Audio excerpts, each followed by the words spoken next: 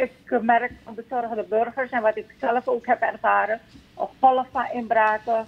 Uh, niet alleen in auto's, maar ook thuis bij mensen. En dat is heel ernstig, heel veel schade. Wat ik heb gemerkt, ik ga drie voorbeelden geven. We hadden zondag een informatiesessie in Olifant.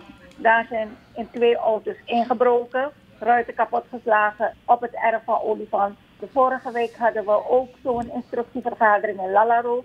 Daar is van drie auto's de batterijen weggehaald. Toen de mensen weg moesten rijden, zagen ze dat de batterijen er niet waren. Gestolen en schade aan de auto's, ruiten kapot geslagen. Gisteren was ik ook bij iemand waar het was ingebroken. Tien minuten was de persoon uit huis en binnen de tien minuten hebben dieven deuren geforceerd. Alarm was er, traliedeuren waren er.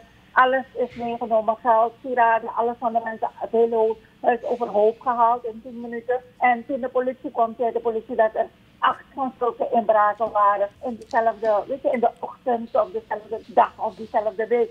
En dat vinden we ernstig. Ik bedoel, dit kan niet toegestaan worden en de overheid moet meer surveilleren. De politie heeft voertuigen gehad, maar de vaak gehoorde klacht bij de politie is dat ze geen brandstof hebben. Het zijn auto's die niet met diesel rijden, maar met onleaded. En elke dag wordt er dus één tank vol. En ze moeten dan elke dag gaan tanken. En vaak zit er niet voldoende brandstof om die auto's te tanken.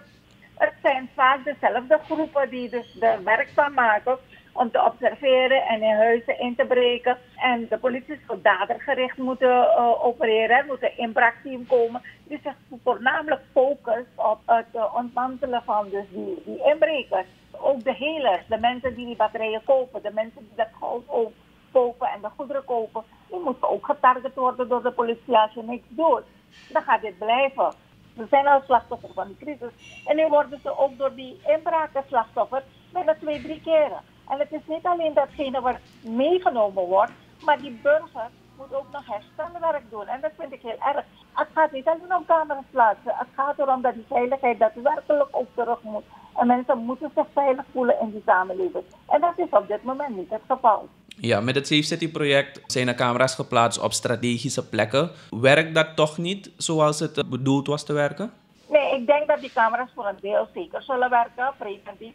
Maar als men ziet dat um, ingebroken wordt en men komt niet, de politie is niet snel, want de pakkans is, is gering, dan gaat het geen effect hebben, want je ziet de snelheid. De dieven hebben hun snelheid is toegenomen. Binnen 10 minuten breken ze in en halen ze alles over.